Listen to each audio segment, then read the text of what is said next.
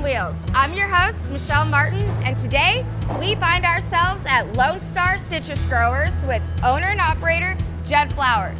Now, a couple years ago, we showed you guys his groves and how harvest was done, but today we're going to show people at home how grapefruit and orange juice is made, right? We're sure happy that you showed up today, and we're going to show you how we make such a healthy product. Well, I'm ready because I'm thirsty. Let's go see. Let's go.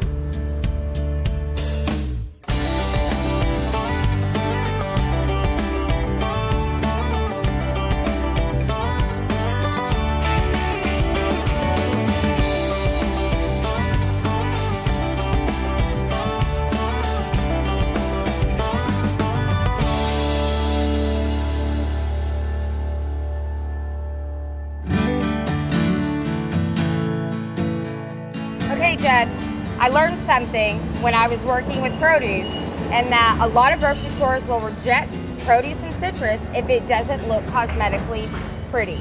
That's right. Is that what all this is?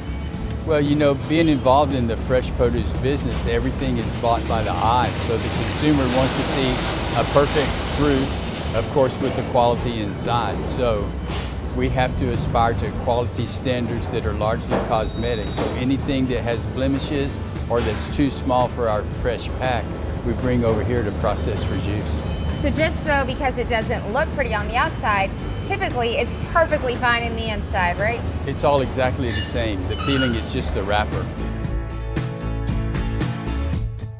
All right, Judd, so we found ourselves now in the control room. And behind me is where the magic starts to happen. And so with the juice plant, there's so many steps. Tell me step one.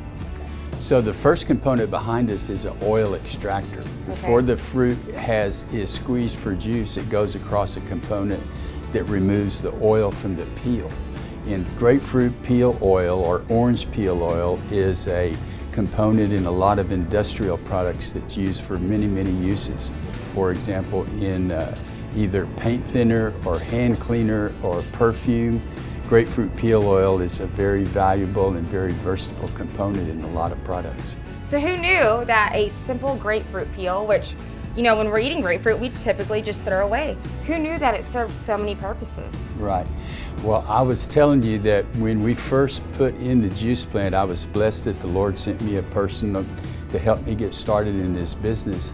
And he explained to me in the beginning that if we were in the hog business, he would show us how to get everything from the hog except for the squeal. But in the grapefruit business, he said he was going to show us how to get the squeal as well. Hey, you get it all? Yeah, we get everything. Can't ask for more, right?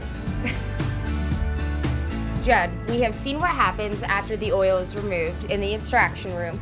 Explain to me step number two. Okay, after we come out of the oil extractor, we go into this juice extracting room. The extraction is a series of cups, two cups. One holds the fruit, and a second cup on a piston perforates the fruit itself and compresses the juice through a small perforated cylinder, which separates most seeds and pulp from the juice. And then the seeds and the peel drop into a peel screw that goes outside to be used on the ranch or at the feedlot. Meanwhile, the juice travels on to be collected to go into the pasteurizer. Okay, so I have a question for you. When it comes to grapefruit juice, let's say I'm grocery shopping, it seems to all look and taste the same. How is that so? Because I am very familiar with growing citrus, and I know that towards the latter part of the season, the fruit is sweeter. That's right.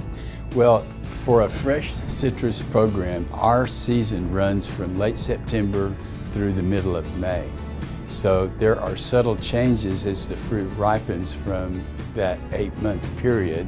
And in order to make the fruit taste and drink the same every day, we sell part of the fruit offline and then we store a good bit of it in sub-zero temperatures and bring it out to blend it to customer specifications during the year.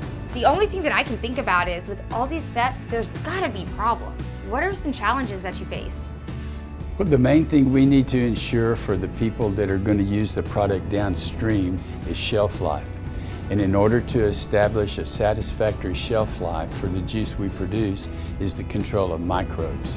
So we have to maintain a sanitary facility that's combined with cleanliness, sterilization, and we use a heat treatment called pasteurization, the same as you use for milk, which controls the level of microbes in the juice.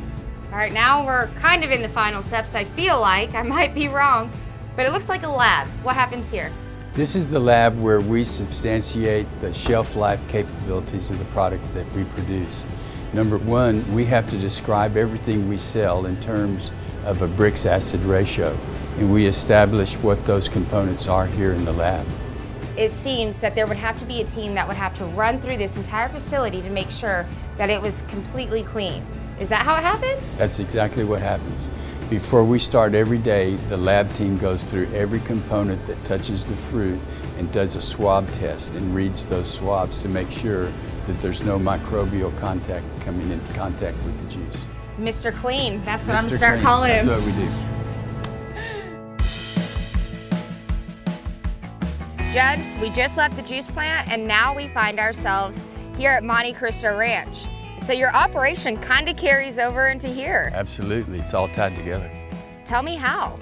From the juice plant, whatever we don't pack in fresh, of course, goes to the juice plant. And after we extract the juice, about 50% by weight is pulp and peel. And so we take that pulp and peel here and distribute it to the cattle during the wintertime as a supplement to forage. And tell me what kind of health benefits does that have for your cattle? Primarily, it's uh, carbohydrates. There's lots of sugar in the peel, leftover bits of juice, and uh, lots of fiber with the membranes inside the fruit. And then it also has protein that comes from the seeds. Depending on the variety, it could have six or seven percent protein.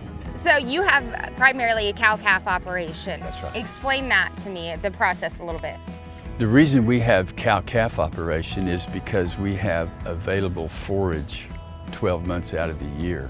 With, uh, you know, we live in an area where the longest grazing season in America is right here. We have about a 20 inch rainfall and then all of our ranch is in irrigated sections. So we can produce some kind of forage 12 months out of the year, either with warm season grasses or with cool season medics and clovers. And then we supplement that with the hay that we grow in between the baby trees and as you can see with the, the pulp and peel from the juice plant. So since we have availability of that food stuff all year round, we keep mature cows and then we raise the calves. The steers usually go to the feedlot, except for the top 10% of the bulls that we sell to other producers. And then the heifers we maintain for replacements in our own herd or to sell for other producers. Judd, thank you so much for allowing us to come out and see your impressive and extensive operation. We really enjoyed it, so thank you. Well, it was a pleasure to have you. Come back anytime. Careful what you wish for, but you are a busy man. I am, but just got to keep going. That's right, and I gotta keep on going. So where will I be next? Only God knows. Maybe I'll come back and take some grapefruit. Oh, we'll see you guys next time.